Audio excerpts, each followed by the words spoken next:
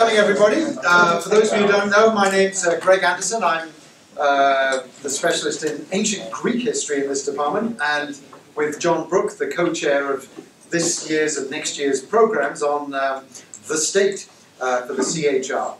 Anyway, uh, today we have a very illustrious, another illustrious visitor, Mark Bevir. He is the professor of political science and director at the Centre for British Studies at Cal Berkeley. Uh, he was educated back in Britain, his homeland, uh, with a BA from Exeter, PhD from Oxford, and worked across boundaries there already uh, uh, in the areas of politics, philosophy, and history. Uh, before arriving at Berkeley, he taught at the University of Madras, uh, very interestingly, and at Newcastle University, my old stomping ground. Um, uh, in the lads, as we say. His main interests are in political theory, philosophy, public policy and organisation, philosophy of history, and the history of uh, British socialism. And his publications are nothing if not prolific. Uh, 10 books as author or co-author in the last 14 years, by my count. Um, and 12 books in addition as editor or co-editor, and over 150 articles. I would say of those publications for our purposes, with our program, the most notable would be uh, 2010, The State as Cultural Practice, which was indeed the publication which uh, made me think of inviting Mark in the first place as one of our visitors. And then also in the same year, Democratic Governance, published by Princeton Press. And this year, the book that's actually on the table right there, A Theory of Governance, and I'm sure some of that material will be uh, filtering its way into our discussions today. Just so we're all clear, the format is we had a pre-circulated paper, and Mark will assume you've at least looked at it. Um, the title of that is A New Governance, Hierarchies, Markets and Networks, circa 1979 to 2010. Uh, Mark will then say a few words about uh, the paper and the general subject area. Chris Otter, our own Chris Otter, will then respond and uh, Mark will presumably respond to Chris, and then we'll have a general discussion. Anyway, thanks very much for coming, Mark. Lovely to have you. Great, thank you very much for inviting me. It's very nice to be here. Um, yes, so I, on the assumption that you've read the paper, I thought what I'd do in my time is provide some context to the paper and maybe give a couple of illustrations to make it a bit more colourful than it is in places, or at least a bit more concrete than it is in places. Um, the, the context gives me a chance to give a plug for this book, because the paper is, or at least the first half of the paper, is taken directly from a chapter in this book. Um, and the context really would try to say something about that and into that fact. Do you know, I think this book, in theory, should be available free online, but I haven't found out where. Uh, I think something like escholarship.org slash UC slash Gaia, G-A-I-A, should work. And it struck me thinking about that, because it's only just come out, I should find out where, and I should put a link on my page. So if you look in a week and I haven't done so, send me an email and say you're meant to find that book and put a free link to it on, on your webpage. Because that's the deal in the agreement to publish. Um, so I'm trying to think about the context and, of the book and also the, the more general program you have on, on states here. And it seems to me that governance as it's arisen, and it has arisen massively and hugely in a very short time as a topic of academic discussion, really covers two apparently quite discrete areas of study, one of which I cover in the first half of the book and the other in the second. And one area it covers is that it acts as a very general theoretical concept in which to think about patterns of order and social coordination generally. So you can talk about not just the state, you can think about the state as a form of governance, but you can also talk about corporate governance. So that the, the corporation represents some sort of pattern of organisation as well. Or you can talk about clinical governance. How do we get patterns of coordination and organisation in hospitals? Um, so uh, um, at that very abstract level, the concept of governance provides primarily social theorists and philosophers with a way of thinking about general issues in social theory about organisation, coordination, and how human activity coalesces into stable patterns of rule, of which the state would be one example, but only one example. So one aspiration, I think, of a theory of government should be to provide something like a general philosophical account of social organisation. Generally. And the, mo the most prominent example in the literature of governance is probably inspired by neoclassical economics. So it's an attempt to explain how and when markets arise, firms arise as stable patterns, how and when transaction costs means that firms are willing to establish more stable links so that you get networks between firms to explain why states arrive, all on the assumptions that govern neoclassical economics and rational choice theory.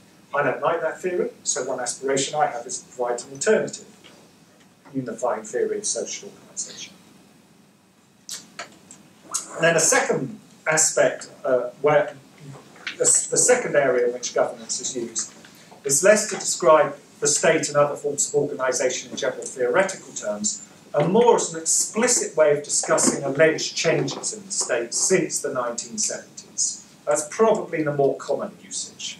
Um, certainly the one most people are more likely to come across. So it's often, governance is often associated in that language with a contrast within government that is with government that's temporal, as though there's been a shift from a, the state as government to the state as governance. And in most accounts of, of governance in, as a new world, let's call this not a theory but a new world, the argument goes, and I think there's some truth in this argument, that there's been a shift away from bureaucratic hierarchies towards a greater use of markets and networks as forms of public action and public organisation. So the paper you've got is obviously my attempt to discuss the new governance understood as a new world. But underlying the book as a whole is an attempt to offer a new theory that also, when applied, can make sense of that shift.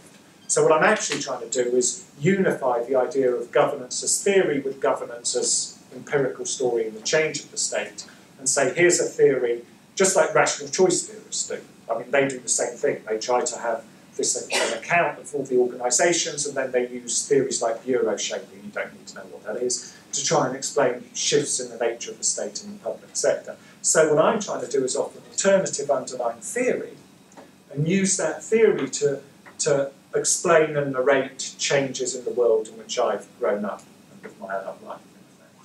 Um, and my story, I, I, should perhaps I should say a bit about it very quickly then, because it's not in the paper.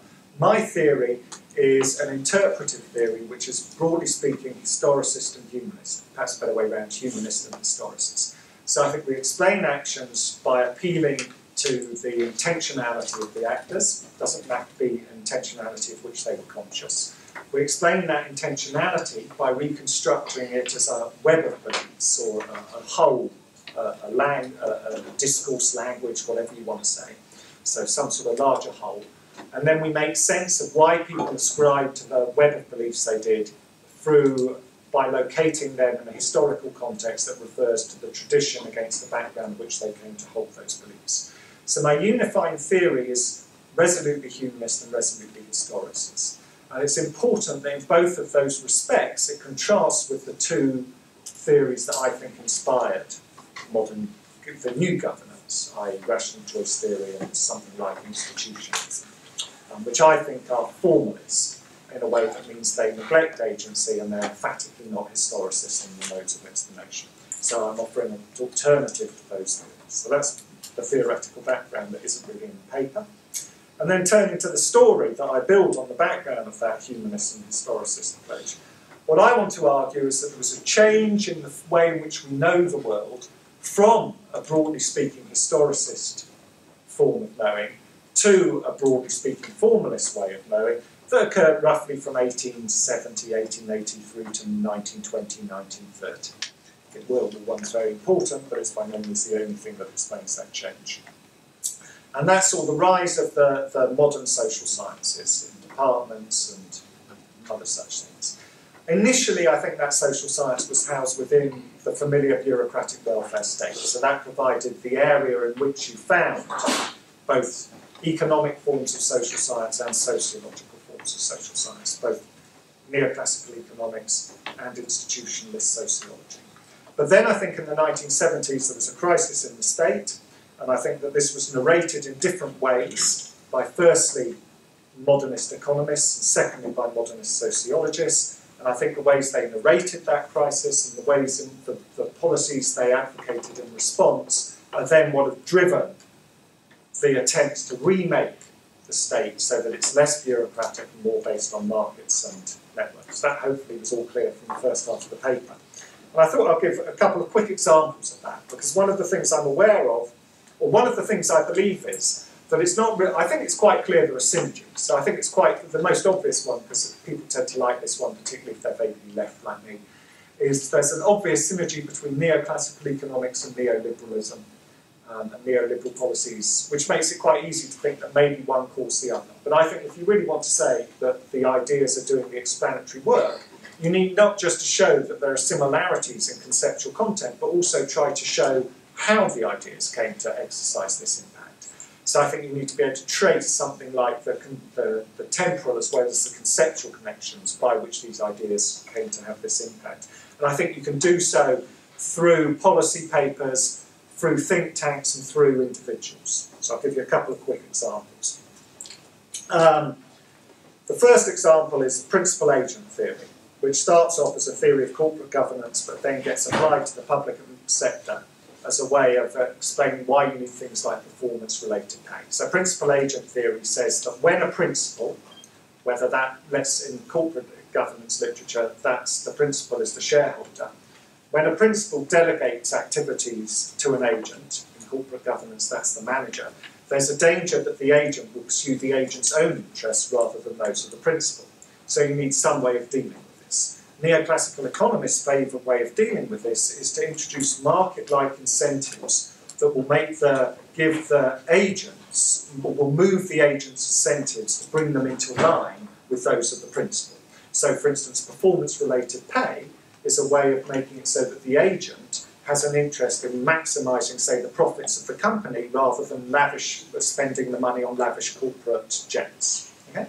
And the new public management, when it came into the public sector as a way of introducing market mechanisms, one of the things it included was a strong leaning towards performance-related pay, which was inspired, in my view, in part by something like the application of principal agent theory to the public sector. And uh, the most concrete example of that, apart from just telling you that as a general story, even more concretely, there was an American social scientist called Alan Schack. Alan Schack worked somewhere in Virginia, I'm always inclined to forget where, and I've forgotten again. I think it was George Washington University, but don't take my word for that. And he was one of the first public administration scholars to apply principal agent theory, which had developed in corporate, in corporate governance, to the study of public administration. And Alan Schack was also then employed by the New Zealand government to write a white paper on public sector reform. That white paper became the plank for New Zealand's public sector reforms. New Zealand public sector reforms are normally seen as being the first attempt to introduce something that looks like the new public management. So you can actually trace the, the, the, the ideas through Alan Schack as ideas that arise in, in the corporate governance literature, get applied to the public sector, and then are developed in white papers and then inspire public policies. The second wave of reforms, in my account, which you've read, is the sociological one, and there too I think you can talk about similar, find similar concrete connections.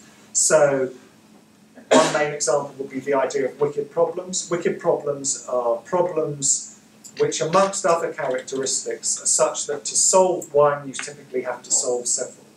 So you might say that you think your problem is inner city crime and you find most of the crime is caused by kids who are playing truant from schools. Then you find most of the truants are actually from, I don't know, single parent homes. So what starts off looking like it's a crime pro problem, crime and order, then becomes an education problem, then becomes something like a social welfare slash provision of childcare problem. Right? So you, it's not clear how you can solve one without dealing with the others. And the concept of wicked problems first appears in progressive planning literature in the 1970s in an article by Rittel and Webber.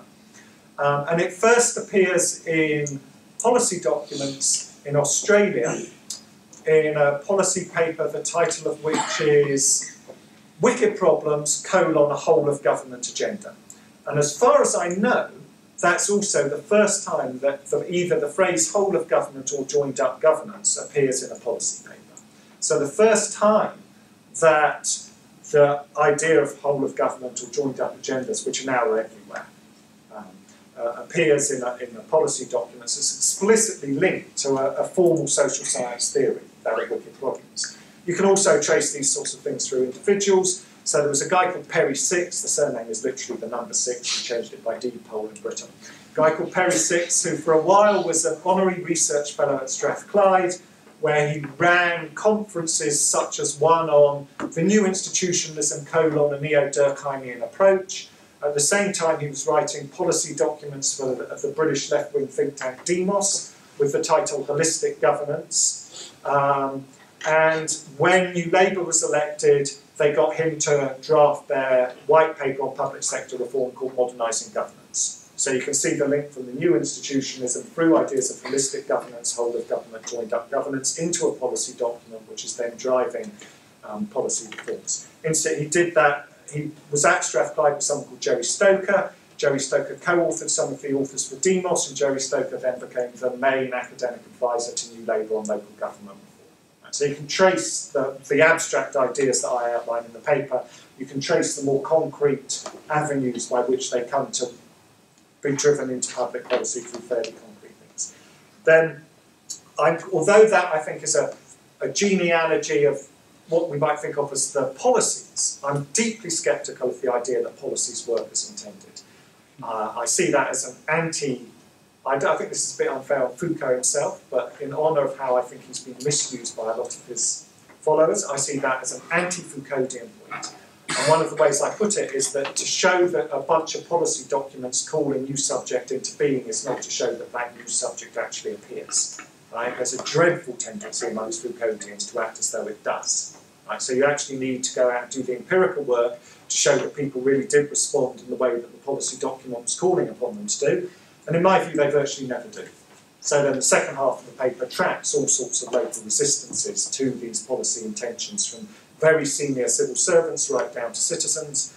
I think perhaps my preferred example, because it shows how resistance can happen even with many grey suits, as it were, um, is the senior civil servant, where you might not even have picked up that this was resistance, but we're, we interviewed, this was done with a collaborator, the whole interview, but not a bit in this paper. We interviewed um, the senior civil British servant, and it was at the time when New Labour was introducing its reforms, which were all about joined up governance at the time. And this was a department secretary, so the highest position you could get in the British civil service, basically, apart from being cabinet secretary. And he was in, in charge of defence. And he said it was a great, he said, joined up, when we asked him about joined up governance, he said, great idea, we've been doing it in defence forever. So if you're New Labour, you have this flagship reform, which you think means we need really drastic changes. And your senior civil servant is saying, great idea, but I don't need to do anything about it whatsoever. Which is also, I have to say, a very British form of resistance. British civil servants are brought up in a Whiggish tradition. So they think of constitutional change and political change as inherently evolutionary. So when the political masters are coming in and saying we need dramatic change, their natural reaction is yes, of course you do. That just involves small little incremental changes along the hmm. lines of things we've already been doing. So at the very top, the change has been stymied, right, by, by a form of resistance there. But I track other forms of resistance. I vaguely thought I'd draw out some lessons. I'm a bit loath to do this because part of what I really want to say is that therefore it's a fallacy to talk about governance as being something like a hollow state or leading to meta governance and that actually what you get is a massive variety of forms of governance, precisely because even though virtually everywhere policymakers pay lip service and even at times sincerely try to promote markets and networks, it never works out that way. So you actually get a massive diversity of practices, in my view. But if I were to draw out some general lessons from my primarily British, but also sometimes Australian, sometimes American, and a bit of knowledge about other areas, um, particularly continental Europe, if I were to draw out general lessons from my studies of those areas, from overall patterns of governance, they would be threefold. One, bureaucracy still exists and indeed is still the dominant form of public action and public organisation. Secondly, markets are resisted virtually everywhere, no one likes them. And thirdly, community reforms are neglected because although people might quite like the idea, they never think they're important enough to actually put effort into on the ground. Um, and then I, I would stress that all of that is not what public administration figure scholars sometimes call an implementation gap. This is going to be my final point, I think. Um, it's not what they think of as an implementation gap, because the this now will take me back to the idea that I'm trying to have a new theory underlying this, which is historicist and the idea of an implementation gap seeks to offer a formal account of what I'm calling resistance, which really says there's always a gap between policy and problems which we need to sort out and we can deal with through some sort of further modernist thing. Whereas what I'm trying to suggest, and I do this, I don't really do enough of this in the paper, but I think it's implicit in the theory and comes out in the book. What I'm trying to point to is something more like a fallacy of expertise, where what I want to say is these formalist, modernist forms of social science seek to be able to tell us, introduce a reform of the type X and you will get these results. Introduce markets and they're bound to work in this way, as neoclassical economists might say. Um, introduce deficit funding and that will help you avoid the disasters of the crisis, as, as, people kept saying in America. Or as I grew up with in Britain under Thatcher, there is no alternative. Social science shows this is the only thing you can do. I've, I do not really mind deficit funding, I have to say. But I would like people like Bush and Thatcher and everyone to stand up and apologise for having spent 10 years telling me there was no alternative, only now to tell me there's no alternative, but it's an entirely different thing that we have to do from that which I had to do before. So I'm not really pointing to an implementation gap, I'm pointing to what I think of as a fantasy of expertise, where social science seems to purport to be able to give us sure guidelines that if you introduce this policy, will have that consequence. Whereas I think precisely because public action and public organisation and social life is always inherently contingent and contested and made up of concrete human activity, you can never have that kind of knowledge. So it's not, it's, I'm not trying to just point to an implementation gap, I'm trying to say that the whole modernist paradigm which has governed developments of social policy and public policy throughout much of the 20th century is flawed. And then what I want to do that doesn't come out in the paper at all is use that argument to promote more participatory and dialogic modes of policy making as an alternative to modernist agendas. Thank you very much, Mark. Um, I'm going to make um, some very brief comments uh, now, um, mainly just to sort of some historical, I'm historian, so I'm going to give some historical comments, uh, unsurprisingly. Uh, in, in Mark's book, he he argues that these, these three kind of modalities of governments, hierarchies, markets, and networks um, have always, well, not have always, but have certainly in the, in the relatively recent past, over the previous few centuries, existed in some kind of relation. It's not just that markets have appeared from nowhere or that networks have appeared from nowhere. And um, I just sort of want to give a little kind of genealogy here. British historians of the states uh, have generally produced a a, a, a sort of series of state regimes or models of state regimes which have superseded one another but kind of overlap. So we've got the sort of fiscal military paradigm of the, of the 18th century, which sees that the state's role as, uh, as largely um, taxing its subjects for, for the purposes of warfare. And here, you know, the role of the market is fairly marginalized and the role of the network is fairly marginalized. This is fairly hierarchical. This is then kind of superseded by something often referred to as the, as the laissez-faire state, running from the early 19th century to around 1930. Uh, the, the laissez-faire state being uh, a state, as you can probably guess, uh, which involved a greater role for markets. Um, this was then superseded by a social or welfare state, which totally overlaps with it. It's really you know, emerging in the later 19th century but really comes into its own after 1945 uh, and lasts until, uh, until Thatcher appears uh, on the scene. Um, in, in, I don't want to do one of my graphs with, with Margaret Thatcher on as I was doing in class the other day. Mm-hmm. Um, with, that would be in poor taste. this, is, this is a state where the um, this is a situation where the state is assuming a greater role. Markets are perhaps uh, assuming a, a, slightly less central role in this. Then we have the neoliberal state where the um, the hierarchies are rolled back and, and, markets come into their own again. Now, I think that it's important to note with these ideal states that these overlap. There is there is no sharp. That this is very British. There is no sharp rupture marking the end of one regime and the beginning of another regime. It's also important to note there's there's not a it's not a kind of zero sum system. It's not it's not the case that just because markets are doing more that therefore the state must necessarily do less if you look at the sort of 1870s in, in Britain when, when market ideology, if you want to be desperately anachronistic, is, is in its heyday, uh, sort of Victorian heyday, the state is growing in, in all kinds of different ways. So we, we can have markets assuming a greater relative importance, but the state still absolutely growing in terms of personnel, in terms of roles, and so on.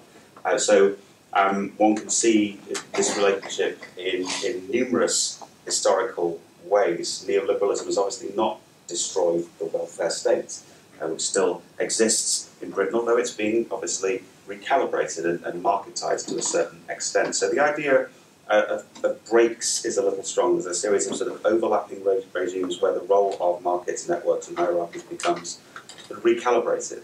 Uh, as Mark points out, neoliberalism, though, does mark a, a, fairly, I think, probably a more abrupt shift than we might have seen in previous uh, in previous shifts.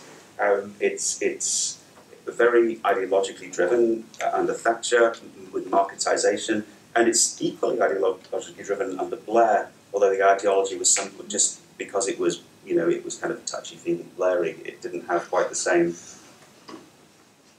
abruptness to it that, that Thatcher's models did. And, and as Mark points out, the, the consequence of this marketization and networkization of government is an incredibly complicated patchwork of, of interlaced uh, agencies and structures that are responsible in, in some way for, for governing. Uh, another couple of dimensions of the neoliberal um, moment is, is, first of all, it's extremely global it, that's not to say that previous regimes did not have a global international dimension. Obviously, the fiscal military state does. Uh, the laissez-faire state is to do with it is connected and deeply implicated in the formation of global markets in, in many things.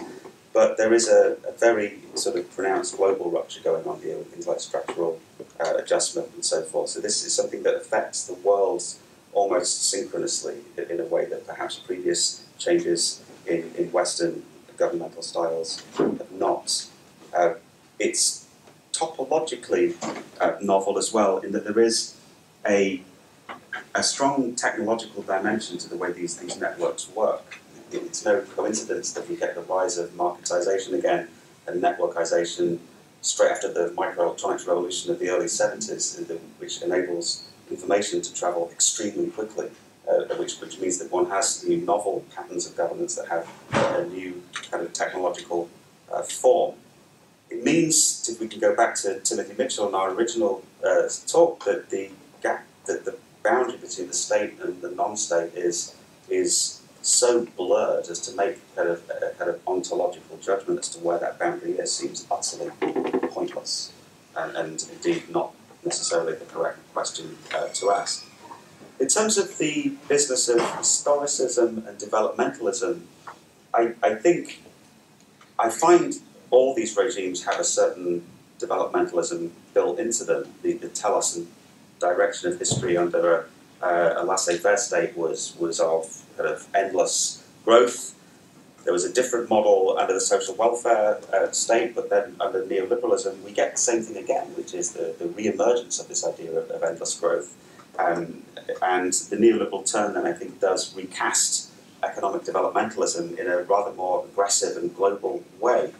Um, and just by way of conclusion, if one sort of situates this turn in the 1970s um, alongside a particular uh, wicked problem that, it, that it's facing and is perhaps dialectically connected with, um, neoliberalism and the global environmental crisis appear uh, at pretty much exactly the same historical uh, moment. In, in, other words, um, the idea that there is uh, we can have unlimited, aggressive growth that can be promoted almost anywhere through markets emerges at the precise time when the the possibility of that is is being um, discussed more openly than ever before uh, in terms of the material limits to growth. Uh, global neoliberal development relies upon fossil fuels, it relies upon water, it relies upon a, a very generally does seem to rely upon the development of a Western diet, which itself has uh, all kinds of environmental consequences. These things are finite and, and, and depleting, uh, and climate is changing. This is not a new problem.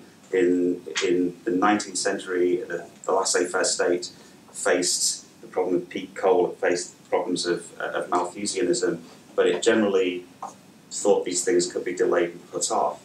Um, the combination of all these things together is something called uh, the ultimate sort of wicked problem, the, the environmental uh, crisis. I think you can situate this with, with neoliberalism and, and, and ask the questions, you know, are markets and networks the best way to govern this? Are they in some ways responsible for crisis? What is the, the relationship between them? I'm just thinking about how perhaps different regimes produce their own problems and are imbricated in them in complicated ways. Do we need a strong state? I mean, this was this is of course something environmentalists often say is that you know, we need to have a strong state, but the record of the state's record of regulating its environment is, is often very patchy. Look at sort of Stalin's Russia, for example. Uh, that, that's often seen as one of the most environmentally destructive regimes in history, and it wasn't governing its environment through networks, but certainly the networks are fairly marginal. Um, so anyway, these are just a few thoughts on, on the history of this and some of the sort of the, the ways in which we might use this type of thinking to think about contemporary problems. But I'm sure there's lots of other things people want to ask. So. Thank you so much, Chris. Do you want to go around the room and get people to introduce themselves? We could, Is- sure. is- is- Maybe bef- uh, you probably want to respond, Yeah, say a few words in response to Chris. But let's, sure, let's go around the room uh, just introducing ourselves as, uh, we can do that. Hi, I'm Greg Anderson again, and you, you are? I'm Adrian Borowski. Uh, you're in the history department? No, political science. Political science. Um, Ben McKean, political science. Erica Gilbert, political science, academic proceeding at given time. John Brown, uh, admin. Josh Wood, history. Uh, Mike Martoccio, I'm a CHR fellow in history. Uh, Sarah Paxton, History and Law. Jim Harris, history. Tim Leach, history. Um, Beth Ann Schlicke Leach, I'm at the John Glenn School of Public Affairs. Uh, Max Blackcraft. I was in history, still am. John Brooke, history. Oh, uh, Alex Roberts, uh, Public Affairs. Go ahead, go front and back either way. Jan Box-Steffensmeier, Political Science Department. Emily Lamb, Political Science. Uh, Julia Strauss, uh, CHR Fellow. Diane King, CHR Fellow. Cameron Zaglar, uh, Near Eastern Languages and Cultures. You all, History. Evan Krause, um, New Eastern Cultures and Comparative Studies. Isaac Weiler, comparative studies. Leo Coleman, also comparative studies. And I'm Tina Sessa, also history. history.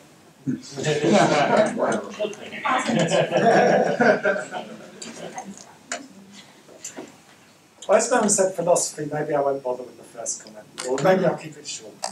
Um, so I think it's helpful to, to distinguish thinking about, I can't remember what you called them, Chris, but the model, what the models of different were they? regimes. regimes were- This was knocked out But, quickly. when- when you're thinking about- those sorts of ideas, I think it's helpful to distinguish what- what we might call aggregate concepts and ideal types, particularly for social scientists.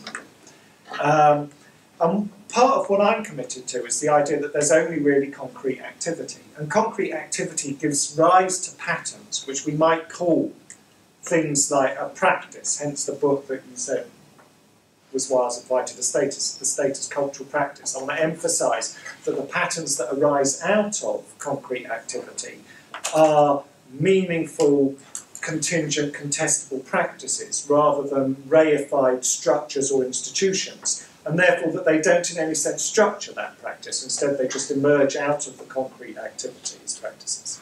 So that's roughly how I see the, the social. And in that concept, things like appeals to regimes, I think, can serve various different purposes. One thing they can do, which very, and I'll say what I think is right about each of these purposes, and if where I think it goes wrong. So one thing they might be is they might be aggregate descriptive concepts, and I think that's how they're normally used in British history. So what what the, the concepts there are really saying is most of what we see fits this pattern at this time, right? And that's all it's saying. It's just an aggregate descriptive. It's a descriptive concept that describes a general pattern in the data. To put it in language that social scientists of all stripes might be happy with. Historians would just say it's a pattern we see, right? Um, another thing that these concepts might be is aggregate explanatory concepts. Now, as a historicist, I'm okay with that as long as they're understood as traditions but not if they're understood as structures or institutions that somehow replicate themselves. So they have to be described as an intellectual tradition that people inherit and are capable of modifying. Right? And at that point, they can be explanatory. So we might refer to the neoliberal tradition to explain why Hayek gets the ideas he does. Or we might refer to a British Whiggish tradition to explain why my senior civil servant responded in the way he did to joined up government. So certain aggregate concepts, provided they're suitably histori- historicist in nature, I think do explanatory framework. But they must be historicist in nature, not formal. So then if these concepts are formal, and they, they in that sense seek to bestride time and place in defining patterns, right, or in providing explanations, then I would rather call them not aggregate concepts but ideal types, which is how I think most sociologists would. I don't think ideal types have any explanatory value whatsoever. That follows from what I said earlier about the idea that I think it's just concrete activity which gives rise to practices understood as emergent things rather than the concrete activity instead being structured by some sort of reified structure. So I don't. I think it's it's a mistake to imagine that ideal types have that explanatory power. I don't think they do in most of these British cases. But I'm willing to accept that ideal types can have. I don't think they really have descriptive value either, in any straightforward way. But I do think they can often act as useful heuristics. But to say something's a heuristic uh, and that it's useful to think with is not the same as saying that it's an aggregate description or it's an aggregate explanation. And in many ways, particularly when I've been critical of the kind of sociological strand of modernist social science, what I'm what you could describe my criticism as ideal types are treated not as heuristics but as having either explanatory or descriptive adequacy, which I don't think they do. They're not explanatory because they don't allow for contingency and historicity, and they're not adequately descriptive because they don't allow for agency and contestability.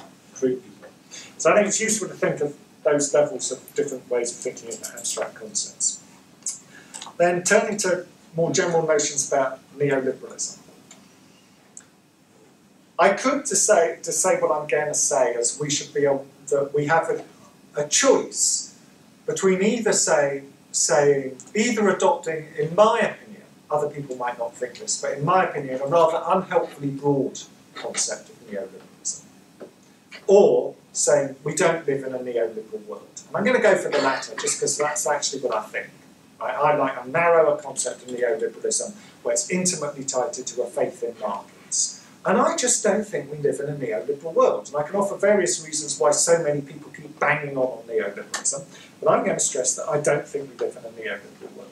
We don't live in a neo- neoliberal world because we've had what I in the paper called the analytic second wave of reforms Virtually no policymaker you talk to anywhere in the world today thinks markets are undeniably efficient. On the contrary, most policymakers today are now concerned with sorting out the problems they think arise about markets. They're interested in state building in places like Afghanistan, building institutions as the necessary content for markets to work. So far, the total opposite of the neoliberal agenda, which was to do away with traditional institutions and introduce markets in their place. Most policymakers today are obsessed with building what they see as the institutional and network prerequisites for successful market activity.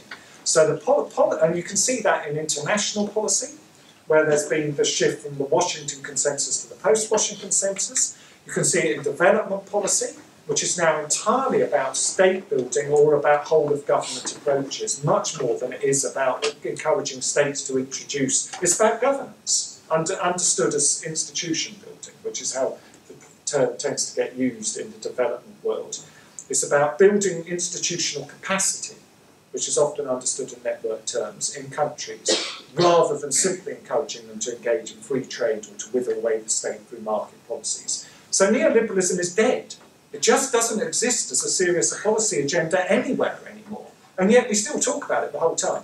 I think there are two interesting uh, experiments. The alternative would just be to expand the notion of neoliberalism to the point where it includes things that seem to be overtly hostile to Hayekian principles or any other major neoliberal principles and are all about Fukuyama-like state building. And if we really want to expand neoliberalism so vastly, I guess we can, but I think it's better to have a narrower concept and say we just don't live in a neoliberal world anymore. Or at least we live in a world in which no serious, virtually no policy makers are driven by neoliberal agendas. I think there are two reasons why we still tend to go on and on, why academics tend to go on and on about neoliberalism. Boy, do they. And the first is, that, and I mean particularly left wing academics, speaking as a left wing academic. And the first is that if you try to tell the sort of story I tell, most vaguely left wing social scientists are fairly happy with the idea that a bad, nasty, neoliberal series of forms of forms of power knowledge that valorise markets and is tied to neoclassical economics and um, rational choice theory tried to take over the world under Thatcher and Reagan. That's not actually a particularly controversial story to tell.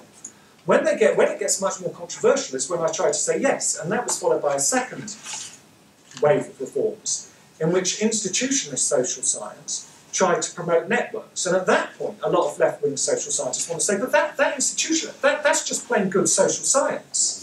and they don't want that to be treated as a form of knowledge in the same way.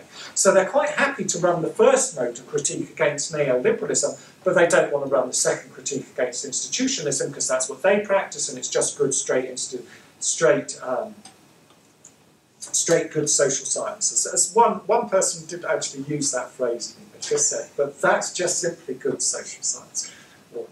And then um, so, so that's one reason. Then the other reason, which is more about the Foucauldian left, particularly in America, and perhaps also British governmentality literatures, which is why I'm always so, this is why I'm always so reluctant to sign on to that or use that language.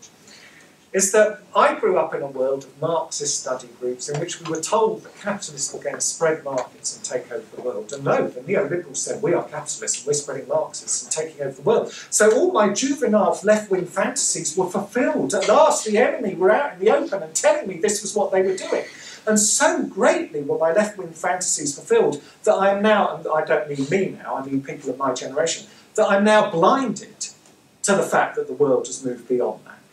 Right? So I think there are very good historical kind of structural reasons why academics find it really hard to let go of the idea, particularly left-wing academics, let go of the idea that we live in a neoliberal world and, and constantly come back to that phrase. And I wish I had, I don't, I wish I had a good catchy phrase for what I think we do live in.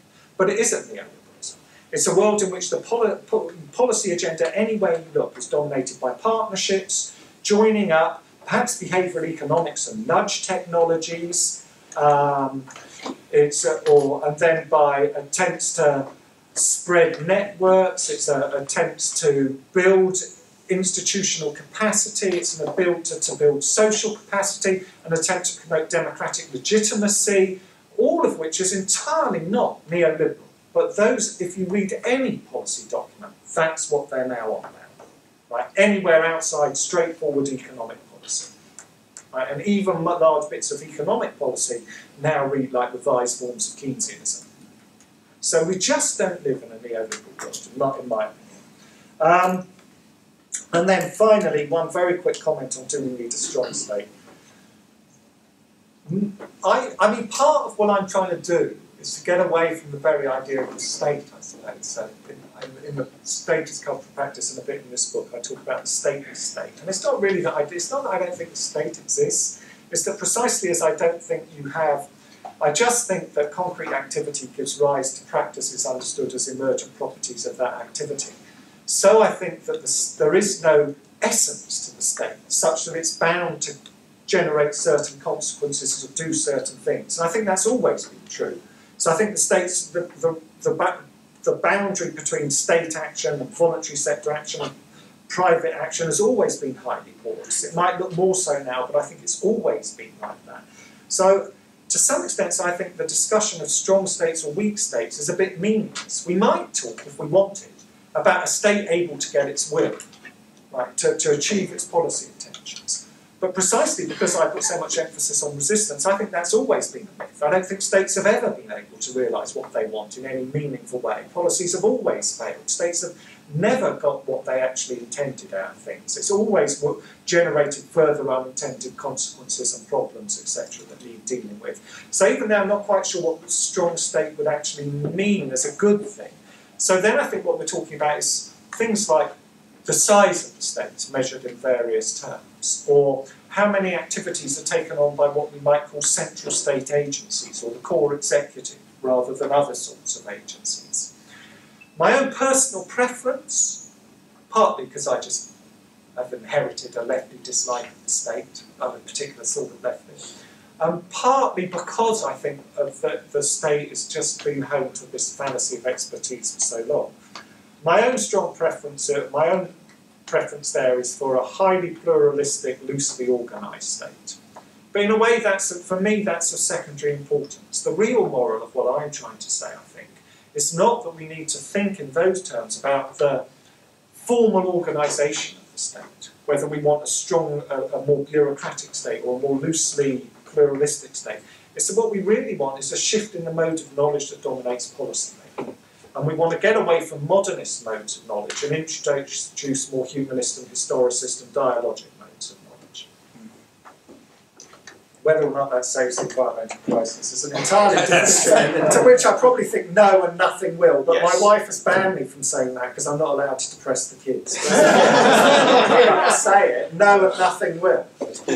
Uh, Julia.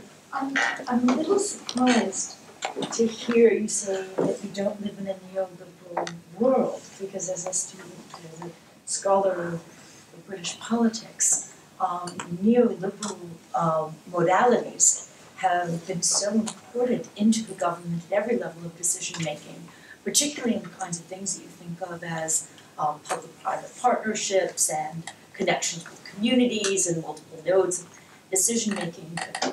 There is, I think, good reason that the critics of this look at this and say this is this is nonsense. These are these are not you they a a, a, a justification of uh, of market efficiency and competition is used to break up the NHS, to privatize, and to sell off the railway network, uh, and so forth and so on.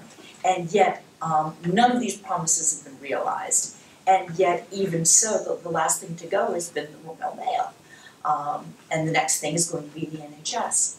Um, and it seems that there is a very, very good set of power reasons uh, for this that have to do with international capital. Uh, with crudely the argument being, although people won't admit this publicly, that the reason that all of these activities that are funded by the state need to be taken off books uh, is basically so that uh, the, the British state can show uh, how lean and mean it is and how it, it is an operating deficit spending to international markets.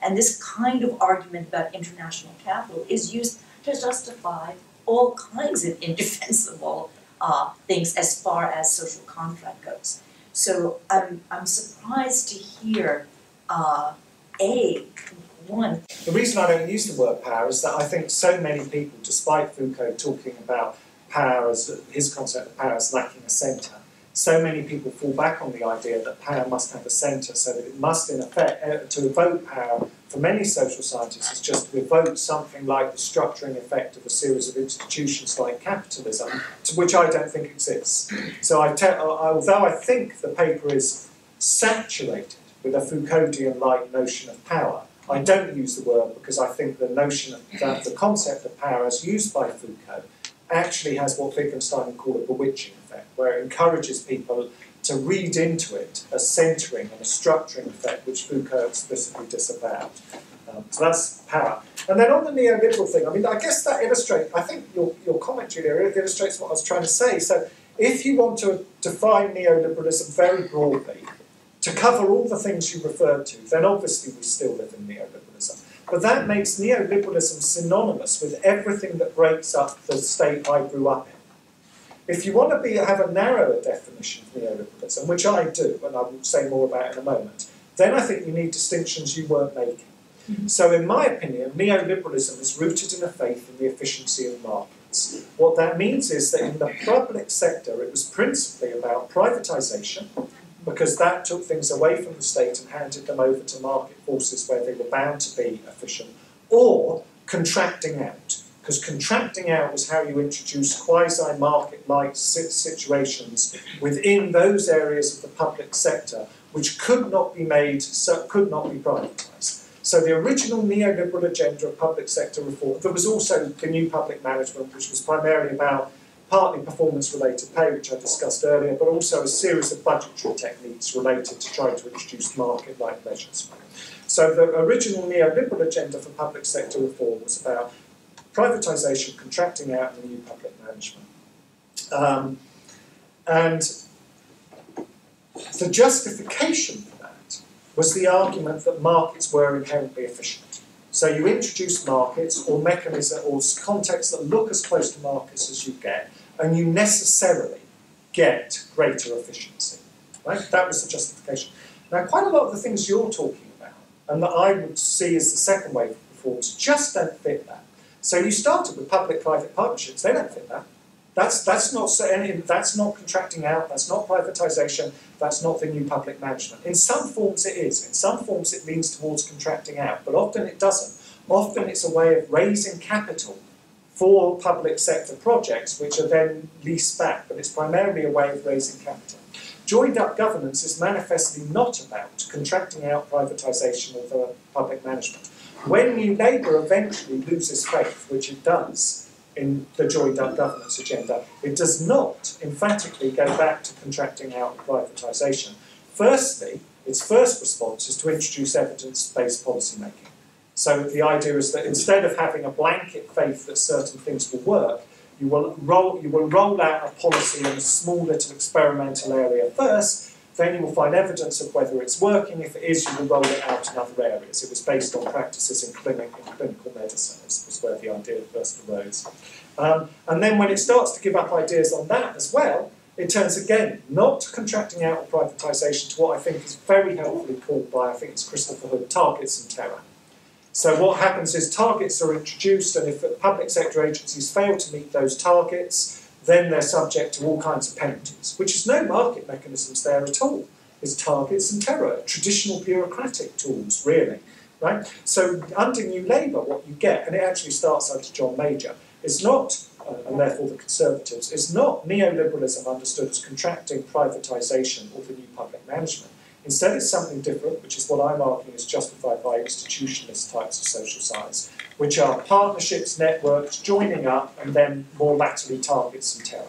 Right? Um, and not only do you therefore get a very different reform agenda from that of the original neoliberals, but the justification ceases to be markets are inherently efficient and becomes precisely the language you used which is now in this world today, not in all times and all places, markets are inherently efficient, but now in this times, in these new times, which originally, as I was saying in the lunchtime seminar, is originally a Marxism Today phrase that then bleaches into the Labour Party under Neil Kinnock when it's been advised by Eric Hobsbawm and gets really heavily picked up by Blair, who is advised by Demos, which is headed by, I'm blanking on the name, but you can look it up, it was a guy who taught in the geography department at Newcastle, um, and who used to write for Marxism Today. Geoff Mulgan? Thank you. And becomes the, the main policy advisor at number 10 Downing Street. You can also find Demos think tank work has been employed by Gordon Brown as his main policy advisor. Interestingly, as there are so many historians in the room,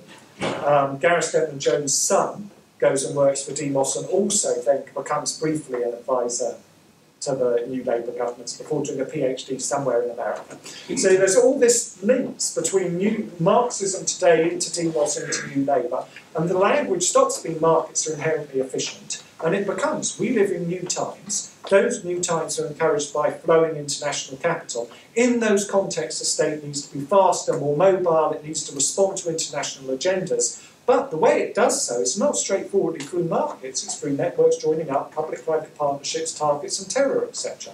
So you can call both of those things, the original neoliberal, if you want, you can call original neoliberalism, which was all about contracting out privatisation and the new public management, and was justified by a language of markets are always and inherently efficient. You can call that and everything that supersedes it neoliberalism. But you lose really important conceptual distinctions if you do. Conceptual distinctions that run through from the intellectual justification, which shifts from being the inherent efficiency of markets as taught by neoclassical economics, to being a sociological argument about the new times in which we live.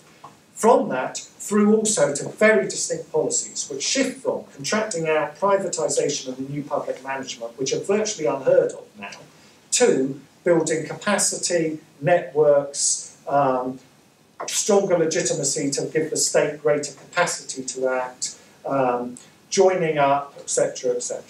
And, and that, to me, the two just look so radically different that I actually think it's better to call them different things rather than to assimilate them all under what I think of as an overly broad concept of neoliberalism. But if you if you want to call the latter neoliberal, then of course we still live in a neoliberal world. Yes. Um, I wanted to go back to one of the observations that Chris made that I thought was, was very interesting and see if you would like to speak to it a little bit more. Was the uh, coincidence of the global econo- uh, global environmental crisis with this uh, neoliberal turn, and um, you did you did mention that your wife doesn't let you talk about how pessimistic you are, but whether you see any particular forms of governance as leading to a more optimistic outcome or uh, anything else you would care to say on those lines? Um, I'm not sure I think there's much connection between the environmental crisis and the rise of neoliberalism. Yeah. I think that there are, I think there are things one needs to look at before what I'm talking about, noticeably patterns of funding in America that create a, a, a world that crosses think tanks, to, to a lesser extent also in Britain, think tanks and academia, which is actively seeking to promote what later becomes neoliberalism. So an agenda in which choice is linked to decision theory, which gives rise to things like rational choice theory and makes neoclassical economics a wider intellectual paradigm, all of which goes on right through the progressive era. So there are precursors to what I'm about to say about where the intellectual agenda comes from. But I think the rise of neoliberalism from a minority intellectual interest in the Mont Pelerin Society to a global policy agenda is really driven by the fact that the narrative it's already started to develop provides a compelling account for and vi- apparently viable solutions to three problems which there starts to be fairly common agreement that we face in the 1970s, which are inflation, state overload, and a persisting underclass. Personally, I don't think we did face the latter two problems. I think there was inflation. Um, but I think there was widespread agreement that was, and I think the neoliberals had a compelling story for that. And I'm not, I think that's really where it came from. Um, you could argue that all of that was connected with the oil crisis, particularly inflation, and that that was something to do with environment. But otherwise, I'm not sure there's much of a connection. Um,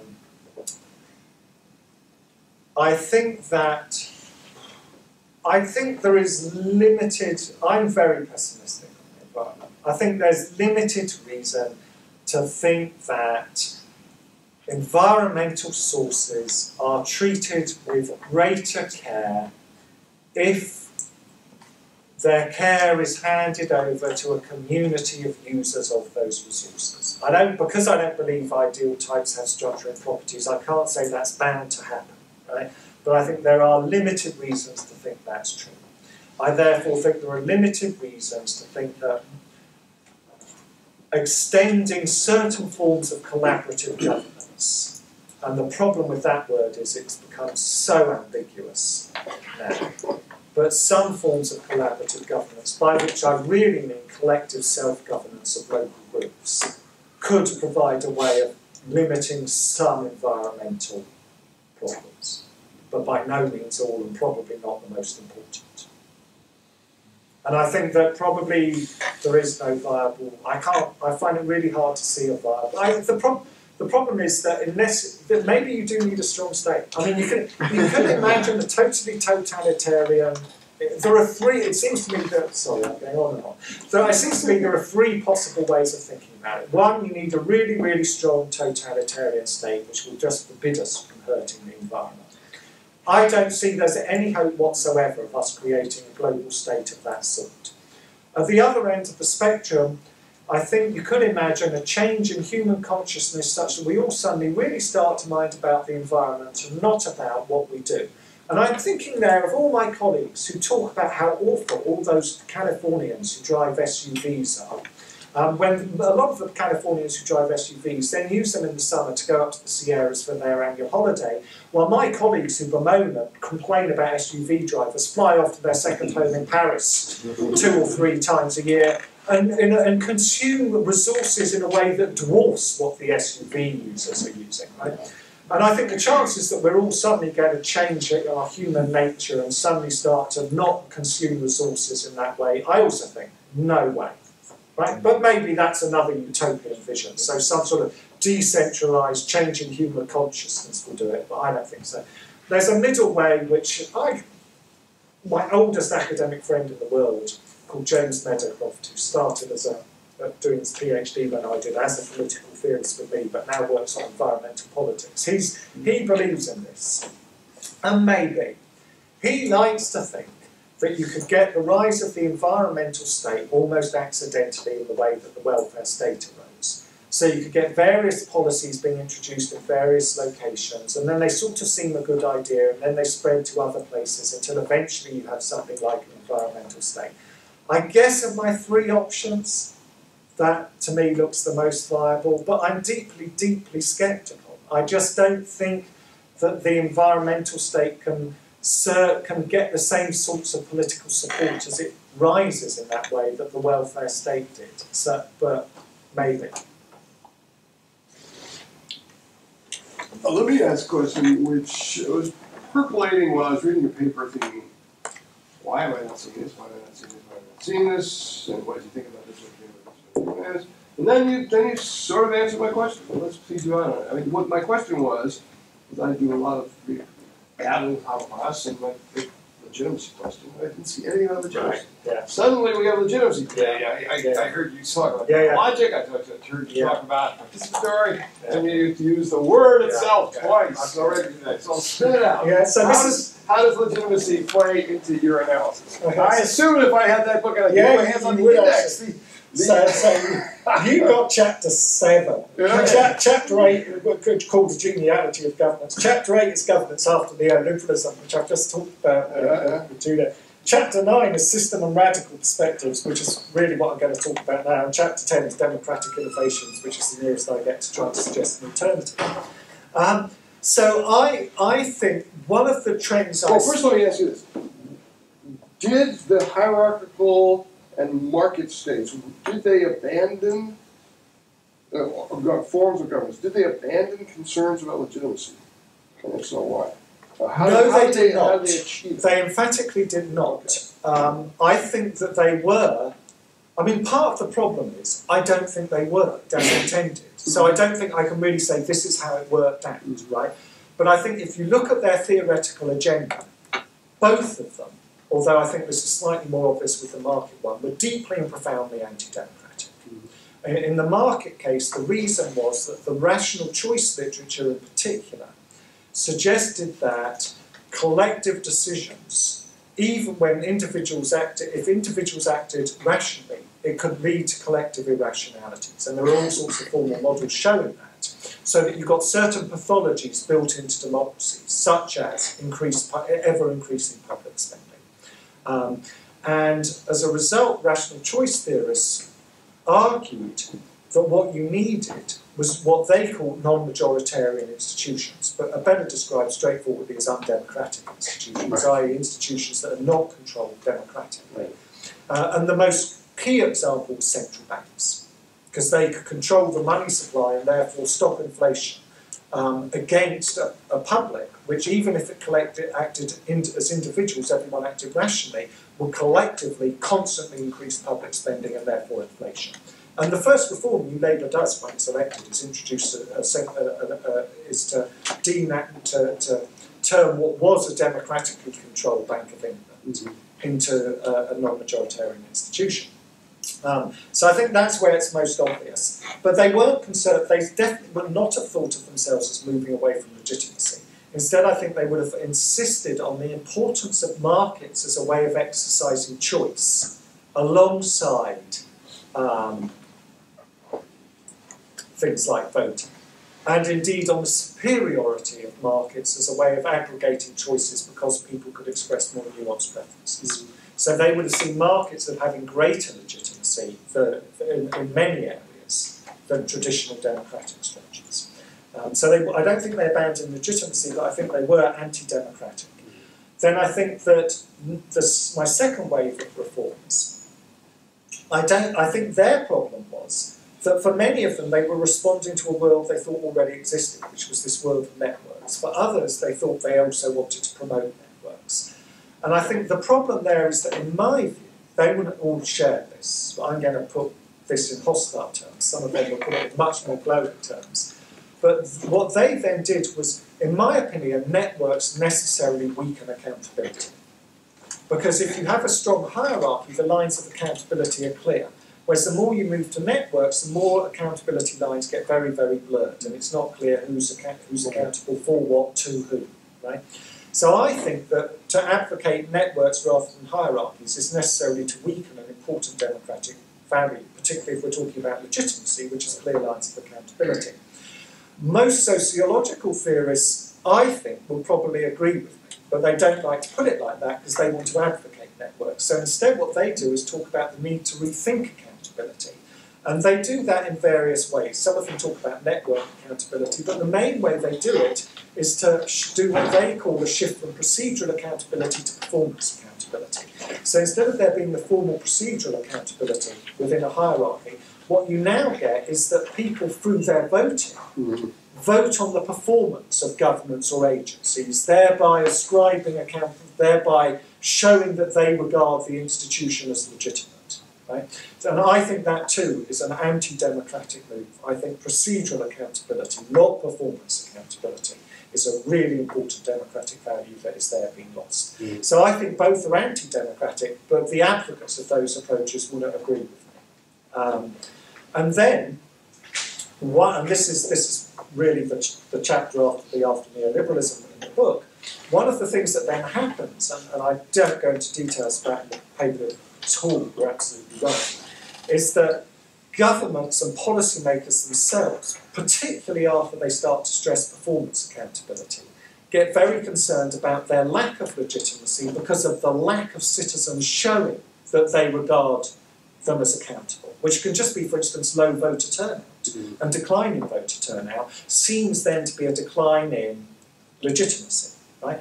And this is happening at the same time that this social science language of the new institutionalists is suggesting that legitimacy and therefore trust, which is meant to be the key property of networks, legitimacy and trust are integral to organisational effectiveness and efficiency. So a lot of people are saying, oh, look, we as political institutions, policymakers, say the EU, we're suffering from a lack of legitimacy, which is shown by our, our declining voter turnout. And we know that that lack of legitimacy is going to affect our effectiveness and efficiency. So the lack of, so the need to build legitimacy, uh, and in that sense, democratic, some sort of democratic credibility, becomes a, a major means to building efficiency and effectiveness. So what you get is a raft of policy agendas and programs which seek, which ha- adopt my language, if you like, the language of promoting democratic reforms, but do so in order to create greater efficiency and effectiveness, rather. So they are, in that sense, yet another modernist agenda rather than a genuine attempt to promote dialogue or participation. And the cha- relevant chapter in the book tries to track that process, particularly through a couple of EU white papers, to show how it transforms democratic ideals from what I call a radical agenda to what I call a system agenda, because the idea becomes that these reforms will serve the system, and as a result, participation drifts towards things like incorporation, and dialogue drifts towards consultation rather than genuine dialogue, and that's what I'm trying to do in precisely that chapter. Okay, But that's what I it's, yeah. not the book, it's not it's not in this paper at all. Michael. Uh, so I'm wondering, sort of the, just think about the different sites and the different places where what kind of political action are happening. You mentioned corporations, the academy, think tanks. And what strikes me that's missing in this is um, NGOs. Uh, and, and that this is a critical, that the, the explosion of NGOs happens in one of these critical terms, right? Mean, it happens in the, in the late 80s, early 90s. Um, and that also brings up the issue of, of large scale social movements, right? Um, the model we have right now is is top-down conversations happening where you sort of contract, right? One person talking to the next person, talking to the next person, you know, uh, who's friends with this person who has a PhD from here. Um, resistance, and, and then them sort of consolidating it and thinking resistance at the bottom level. But then, if we have large-scale social movements, maybe it's it's moving the other way, right? Is this not a way for what you said, the sort of participatory actions, right? And, and that this being the kind of goal and the strive for, for what we want to get to, um, how that's factoring in, because at least from, you know, in, in terms of the social science literature, in IR, for instance, uh, network theory is directly coming out of the human rights agenda, and it's sort of in the 90s, people starting to look and see of non-state actors mobilizing things at the international level, and completely changing the you know the way in which we understand sort of atomized actors in IR. Um, that's coming directly out of one of these sort of social movements. Um, so how does that factor into this scenario? Um, yeah, N- NGOs explode. Um, some of them, but not many, explode during what I would call the neoliberal phase. Um, but by and large, those are actually private organisations that appear, not so much non-governmental organisations. Although non-governmental organisations do also play a role, if insofar as the state can have, they they win contracts. Um, and, and one of the one of the really bizarre things that happens in neoliberalism is that the state says it's going to privatise an activity or it's going to hand it over through a process of contracting out. The state bureaucrats who used to run the, uh, the, the agency form a new independent company, put in a bid, win the contract, and now run the thing, sometimes as a non-profit. Right? So the same people are doing exactly the same thing, but now it's called an NGO or a private sector organisation rather than being part of the state. Um, and then when they really take off is with the rise of networks, um, particularly in international relations, where, where they become the agencies that already exist, like Oxfam, become key agents in the attempt to build whole of government agendas for dealing with famine, disaster relief, etc., etc. But also, there are also private sector organisations that get involved, and particularly in things like security. So then you get in international security, you get the massive rise of private security agencies doing things that before would have been done by either UN officials or things. And now I did, I've been doing some work for the UN recently, actually, and, and I went to get my security pass in Geneva.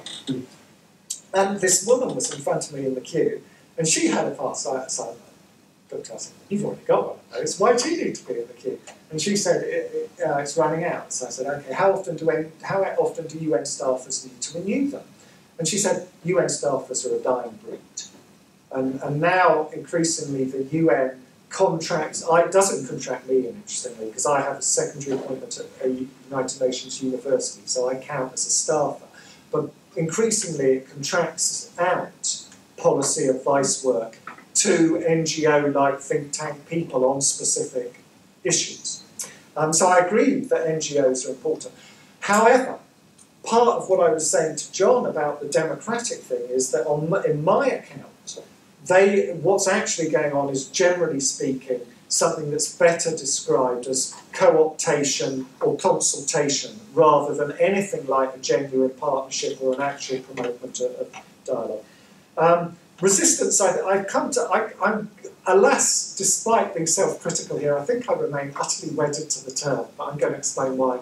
I come out of really British Marxist debates, and it, I come out of a, the kind of tradition that goes through Raymond Williams and E.P. Thompson through Stuart Hall. And in that, in that, in that tradition, what elsewhere might be described as discourses or narratives is typically seen as ideologies, um, and then what goes on against that is resistance, perhaps by subalterns. Um, so resistance is almost universally seen as something that then is a good thing, and that goes on primarily at the bottom of the chain by subaltern-like actors, where of course my theoretical account, and this is why I, get, I specifically gave you the account of the senior civil servant, is one in which everyone's resisting everyone, and it's not meant to privilege the subaltern in quite that way. Um, then on large-scale social I mean, I think that they can obviously create the pressure for change. I just don't think they often do.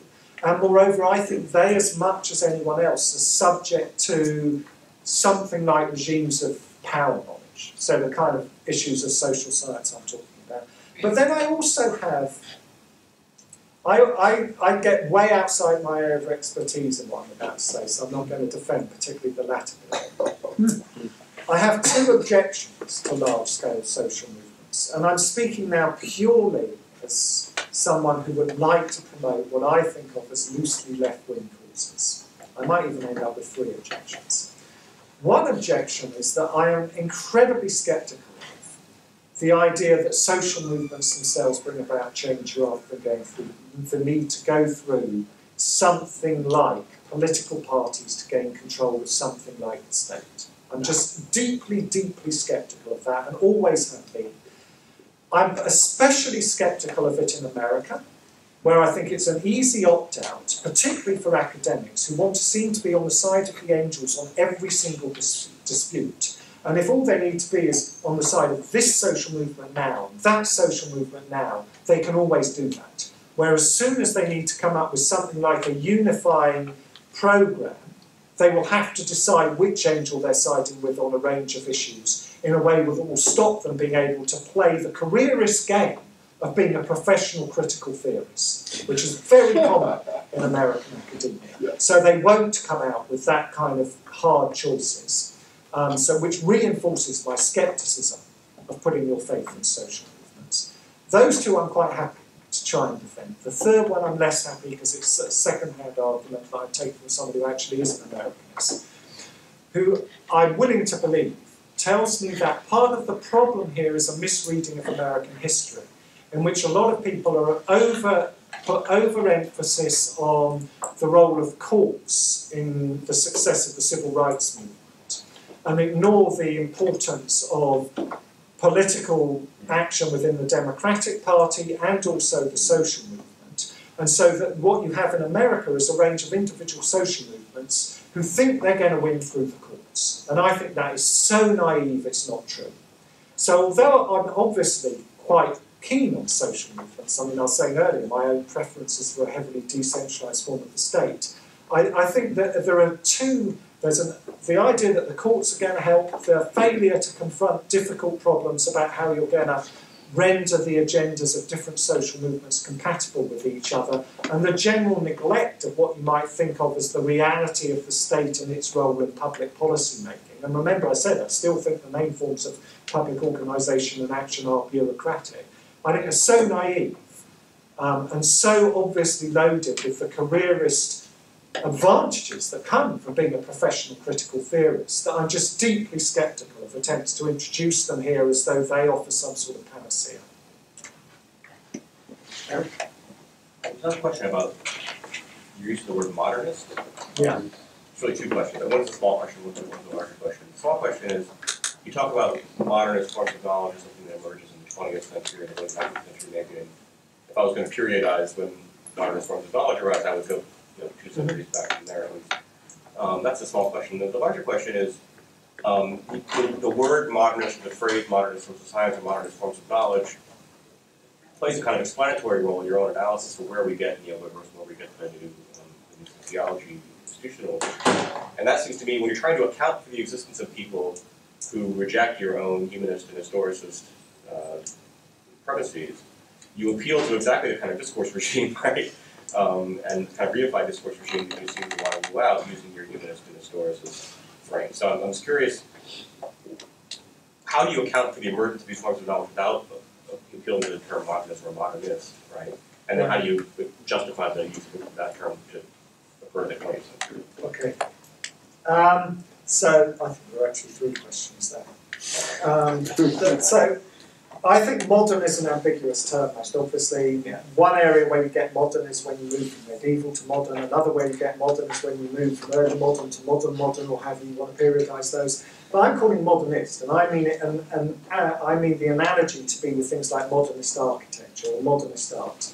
So I, and uh, the way I characterise modernism is in those terms. So it's about the rejection of narrative or historical forms of explanation and narratives in favour of these formal ones. So I guess what that would commit me to, which I do believe, would be the idea that the 19th century is not characterised by formal explanations, and instead it's characterised by narrativistic historical explanations. And I would just point very, very loose order um, to John Stuart Mill, Hegel, Kant, Spencer, all of whom had historical narratives, and they located particulars within those narratives to make sense of them, rather than by and large. So Marx would be a big exception to No, this. Marx would be saying you know, historical narrative in effect. Um, there's an internal logic to capitalism, on my reading of Marx, but I don't think that's. But then capitalism, uh, depending on how you read Marx, uh, is either a necessary successor to feudalism. I don't think that, or a contingent successor to feudalism. But I do think that, but either way. itself. Yeah, but, and that seems to Very not.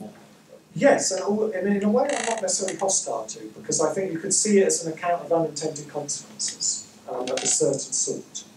Um, but I'm not a Marxist, so I, mean, I don't need to reconcile my views with Marx, but I think, I think it is a narrativistic historical account. Um, and I think that's what dominated 19th century ways of thinking. And I think that's not what dominates 20th century ways of thinking. So all of them have these historical accounts and they explain particulars through their, those accounts. Moreover, they tend to explain particular, they tend to explain particular institutions by locating them first in the other institutions of the relevant country and then tracking the historical development of those institutions and then looking for common, pan- common historical patterns which they might universalise. Right?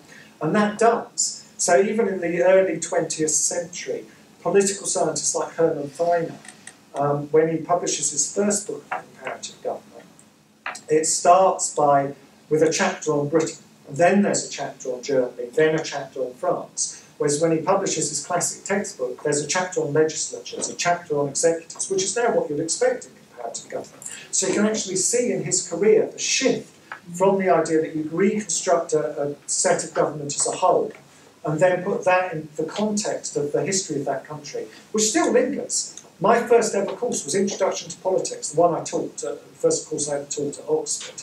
And that, that taught the Federalist Papers and then American government, um, the Communist Manifesto and Soviet governments. There was this ideas to institutions like approach still unfolding. But that's been, over the 20th century, that was replaced by the search for correlations between types of legislatures and types of electoral systems, uh, where the correlation has some sort of formal power. Right? So that's, that's what I mean by modernism, it's that shift from those kind of histories to that. And I think it's analogous to modernist architecture, etc., etc. Um, then, is, is that notion of modernist akin to the kind of reified concepts I would reject? No, I don't think it is. Because I would go back to what I said, my initial comments in response to Chris. I think that's an aggregate historicist concept. So it describes, a his- it describes, or in a way that I'm about to do in answering what I think is the third question, it describes the contingent rise as a way of thinking, as a, a through a, a historical story, and then tracks the unfolding way of that thinking through various policy agendas, rather than saying, under conditions X, which are purely formal, you will get modernism. When you get modernism, you will get this under formal things. So I think it's what I called an aggregate historicist concept rather than what I called an ideal type. Right? And that brings me to how would I explain the rise of modernism. And the very, very simplistic answer is World War One. Because uh, the, the historicism of the 19th century was ti intimately tied to the idea that reason and that history revealed the unfolding of a rational rational principle in a progressive manner. Right? That's there in Whig historiography, it's there in Mill, it's there even in Comte, it's there in Hegel, it's there in Spencer, it was, um, it's there in all popular narratives as well. And World War One just makes that seem stupid. Right? It just makes it seem stupid. So even people who carry on telling historicist stories after that, and that goes right up to today, for those of you who work on British-like stuff, think of Stefan Collini, right? The, um, or, or think of in literature, think of people like Evelyn Waugh and Graham Greene and what happens to them. It gets, it lacks conviction, and it, it, it, there's this almost uh, kind of nostalgia for a world in which you could really believe in developmental history, histories, and now you can't. Bertrand Russell once said you couldn't really be happy if you were born after 1914. You couldn't know true happiness. And it's that, the, then it's that same thing, this lack of sense of confidence that the world was on your side and it was leading to the. World War One just made that look stupid. So the simple answer is World War One. But that, of course, begs the question of why didn't they move to something like radical contingent historicist narratives along the Nietzschean line rather than these formal models or formal approaches. And there I think you also need then to appeal to the rise of other ways of thinking that are already in place before World War One. And this will go take you back to school probably. So it's only in the 19th century that you get the rise of things like Boolean algebra, named after Boole, or Venn diagrams, named after Venn. And those mathematical techniques make possible what later become rational choice theory. They actually make it possible to extend logic and deductive logic from the traditional syllogism to things like set theory. Right? And that opens up a whole new mode of analysing things. Likewise, there are massive advantage developments in statistics in the 19th century, which open up what becomes behaviourism. And you can see that going on before World War One in people like Jevons, who's one of the founders of real hardcore neoclassical economics, economics, not the soft stuff peddled by Alfred Marshall, who starts as a statistician. And that's where he starts. And then he applies a mixture of statistics and algebra to utility theory to develop a marginal utility theory of value and thus the basis for what becomes the British equivalent of Austrian economics. And mm-hmm. that school, of neoliberal economics, really has two different origins. One is in the British approach coming out of Jevons and the other is in the Austrian approach. And there's strong debate amongst historians of economics as to which arises first. But they really arise at the same time, premised on the same mathematical advantages. So what we've actually got is the development of these techniques and incipient ideas around them going on throughout the 19th century. Then World War I creates a crisis of faith in this other way of thinking. There's a long process in which people like Evelyn Waugh, T.S. Eliot carry on telling or being loosely attached to developmental history-like approaches but with nostalgia, while other people like Graham Wallas start to champion the new approaches um, as responses to World War One, what it showed. I mean, Wallas is quite explicit, that's what he's doing, which then feeds into American political science, many of whom are trained at the time in either Britain or Germany.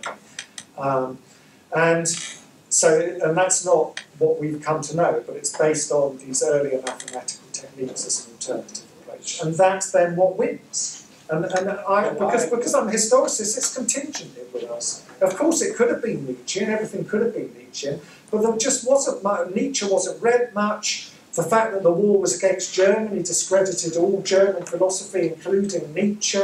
Um, then he's associated with fascism, which makes him even harder to read. If I asked you, and I would be hard put to do this, how many other people can you think of in, in, in the late 19th and early 20th century, other than Nietzsche, who are historicists and reject all developmentalism? I can't really think of any even historicists who are writing about the crisis of historicism.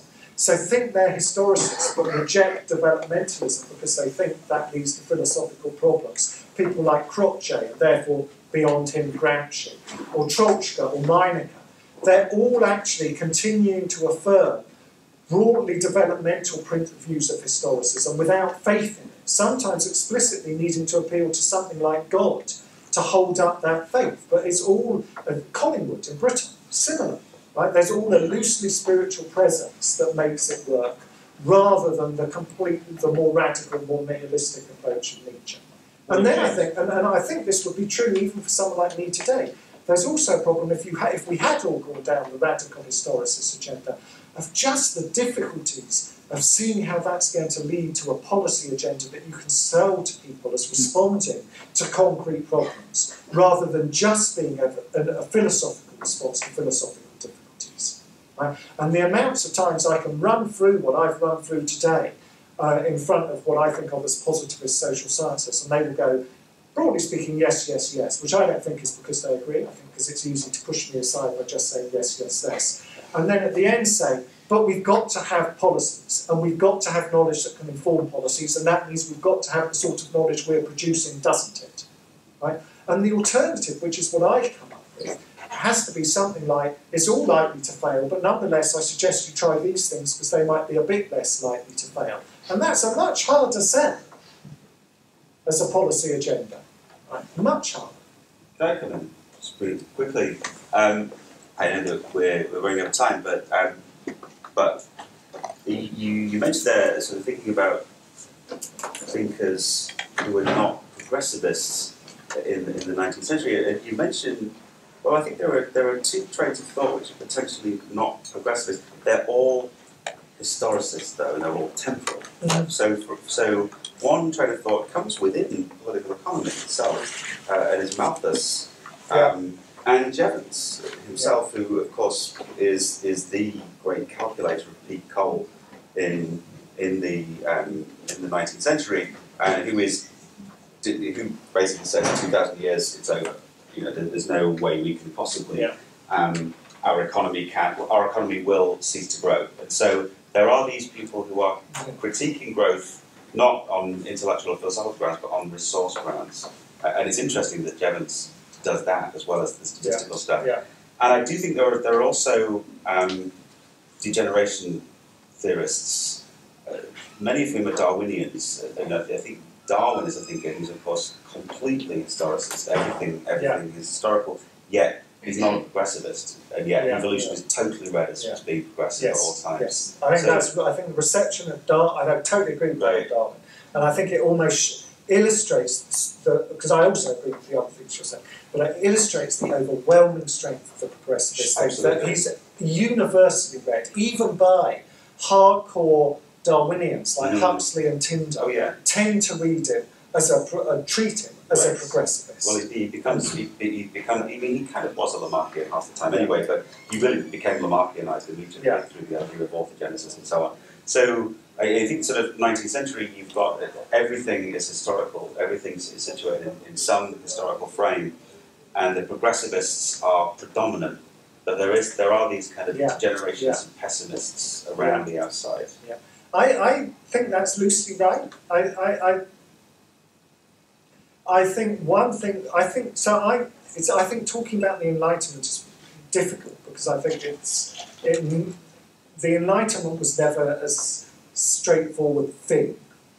And it gets followed very, very quickly by something that is also quite Enlightenment, which is a form of Romanticism, which is organicism. But there's certainly a strand within Enlightenment thinking which is very mechanistic. Right. Right.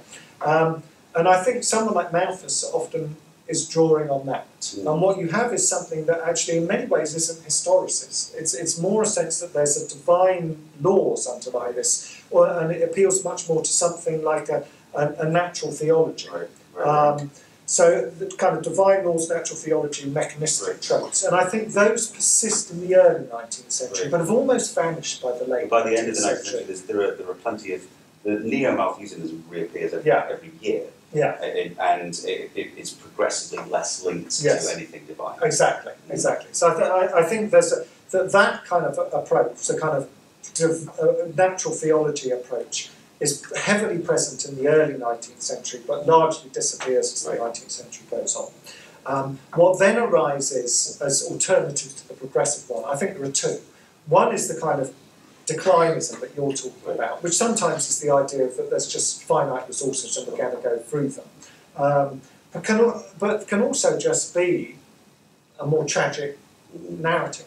But the other thing that persists, because particularly in Britain, I don't know about other European countries, but it's far less common in America, but particularly in Britain, where Oxford and Cambridge are still providing almost exclusive education in the classics, there's also a, a, a continuing sense that things are historical, but history should be understood cyclically. So, for instance, what you get in, in writings on the empire, you see this a lot. That there are always empires, but they always decline. And, uh, and some people are saying that will inevitably be the fate of the British Empire because that's what Rome teaches us. We, read your Gibbon, you know. And uh, there are people who put it that simply.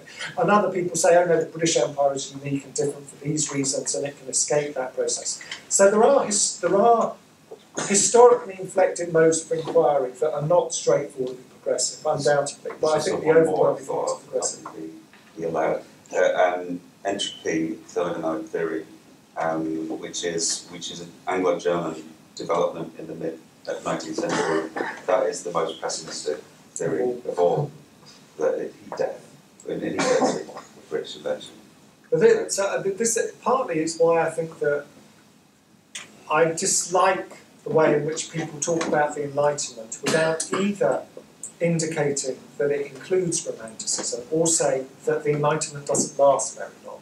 Because I think that the, the classic, rather naive image of the Enlightenment has been highly mechanistic, highly about natural theology, and uh, everything being modelled on Newtonian science. If that's going to be your very restrictive view of the Enlightenment, then I don't think it lasts very long, because I think it's very quickly replaced by what in, we most commonly call romanticism, but I think that's a bad word for it because it ends up being too tied to literature and the arts, and it's better described as organicism. So you see it originally almost in the rise of the biological sciences as key sciences, different developments and theories of the human organs and the heart and things with thinkers like William Lawrence and his theory of the blood. And that feeds into things like early Lamarckian thought, and it overlaps, particularly in Germany, with the rise of natural philosophy and the idea that the whole of nature, as well as man, should be understood as organic and unfolding in a loosely progressive way. Um, which then also, and in Britain, the, the rise of those forms of thinking, and we now know, courtesy of some really great work in the history of political thought over the last 30 years, we now know just how deeply Mill was influenced by Humboldt. Right. Um, so that is reinforced by the triumph of Whig historiography over Benthamite utilitarianism. So that virtually all the main ways in which people think become these progressive ways of thinking, either something coming out of German romanticism and idealism and natural philosophy with its roots in a, an organicist term, or out of restatements of Whig historiography as the main forms of, of liberalism. I think we should probably call it a halt. Well, we'll carry on later. Yes, indeed. Uh, Thank you so much. Thank you, Chris.